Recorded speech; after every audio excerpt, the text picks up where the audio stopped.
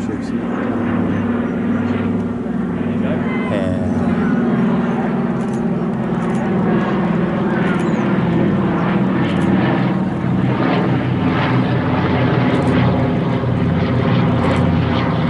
Can you imagine how long it'd take to uh, to put 5,000 troops from the air?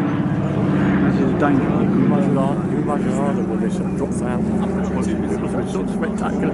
Plus you'd have the, all the anti-aircraft fire going on. They see what they look like through those binoculars. The plane's been shot down as well. So it must have been some sort of uh, Stirlings, towing gliders. Albemarle's towing gliders. A couple of them have got great big holes in their. Uh, Yeah, they've let the air out. Oh, that one there is. is um, Yeah. They look like uh, giant jellyfish. Yes, they do. they could look kind of surreal. Yeah, yeah, they do.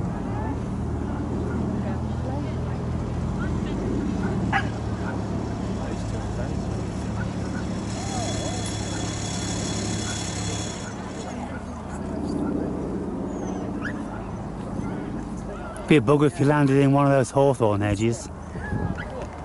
All we hear is squeals.